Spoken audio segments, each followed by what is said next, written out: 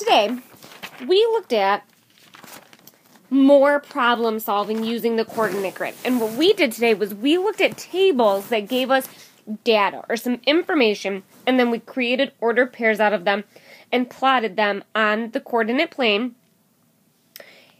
And we then answered some questions about said data. So, here's what your homework looks like.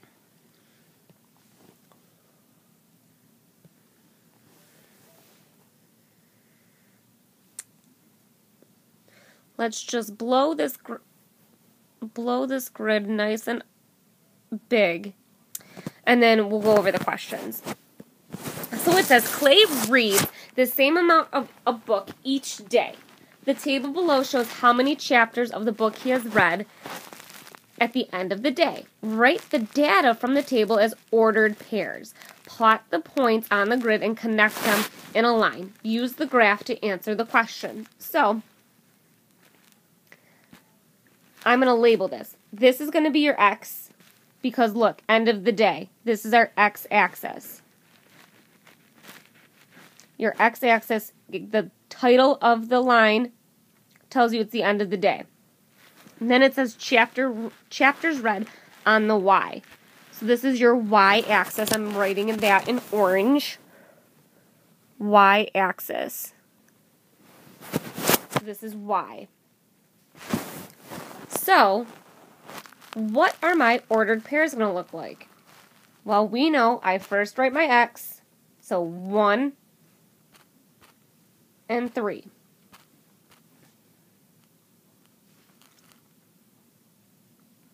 You need to do the rest, so I'm going to check mark that. Then I know I need to plot it. So if I'm going to I'm going to plot in a different color just so you guys can so I need to go over 1 and up 3.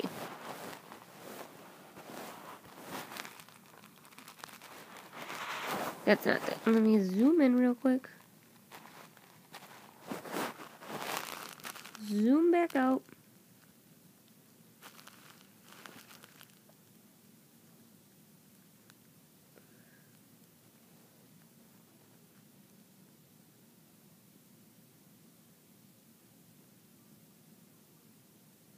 So, you need to do the rest. Once I'm done plotting them all, I'm going to have a line graph. Then you need to make a line graph. I'm not going to plot the points because I want to see you do it and make sure you have a line graph. So it's going to look probably something like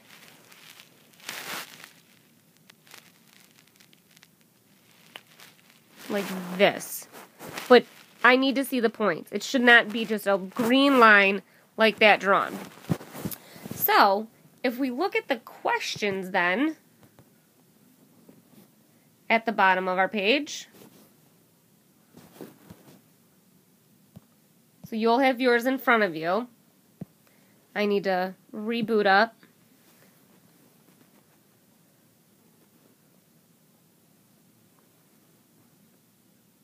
It says between which two days did Clay finish reading chapter 5 of the book? So I know day one he read three, and then day two he read six. He ended up on chapter six. So between days one, oops, between days one and two, he read chapter five.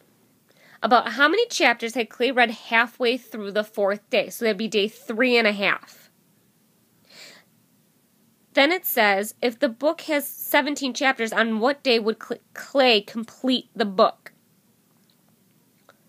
I'm going to give you a hint here. Look at your Y's and see how much they jump. You have 3, 6, 9, 12, 15. So if there are 17 chapters, when is that going to happen? How am I going to get to from 17 to 15? So then you need to explain what you did. So I want to see I blah blah blah whatever you did. I counted, I guessed, uh, but it shouldn't be a guess because there is a correct answer. The bottom round the following numbers to the nearest hundredth. So remember our remember our base 10. So here we go up to tens. So here's your tens, ones, a decim decimal point,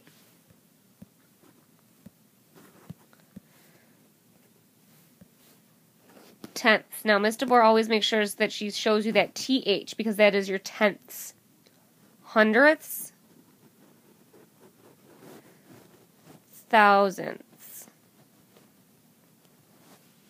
So the nearest hundredth.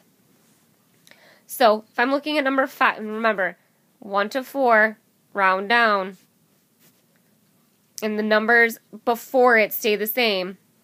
The number stays the same. Or 5 to 9, you round up and the number changes to the next number. So if I'm looking at 546 thousandths and I need to round to the hundredth, I'm going to look at 6. That's not the best highlight. 6. So, 6 is between 5 and 9, so I'm going to round up and change 4 to a 5. So my answer should look like 0 decimal point fifty five hundredths. Do the rest on your own.